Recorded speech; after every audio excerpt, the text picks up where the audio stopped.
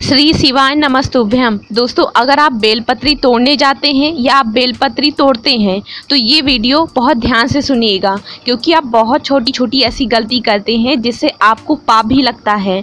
पूज्य शिव पुराण की कथा को सुनकर ही आपको समझाने की कोशिश कर रही हूँ। बहुत ध्यान से सुनिएगा। वैसे ये वीडियो किसी उपाय की नहीं, बल्कि एक छोटी सी जानकारी की है, जिससे आप गलती ना करें।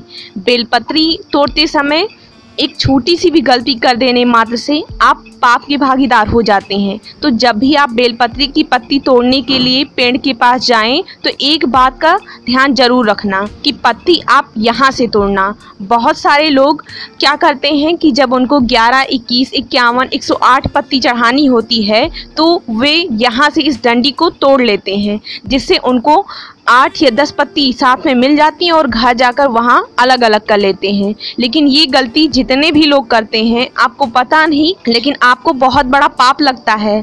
ऐसी पत्ती तोड़ने से कुल की वृद्धि नहीं होती।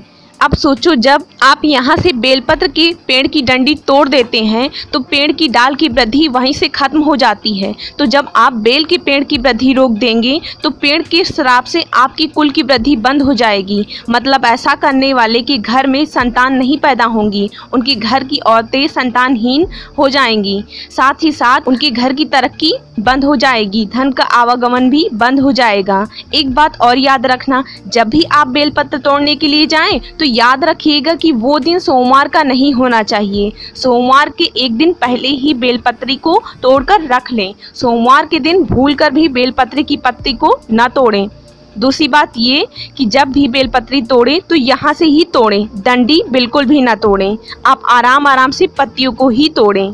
दोस्तों, शास्त्रों के अनुसार अगर आपके पास शिवलिंग पर चढ़ाने के लिए बेलपत्र नहीं है तो आप मंदिर से ही दूसरों की चढ़ाए हुए बेलपत्र को उठाकर धो लें और फिर उसको भगवान शिव पर चढ़ा दें। ये उतना ही पूजनीय माना जाता है जितना कि एक बेलपत्र की पेड़ से बेलपत्री को तोड़ना।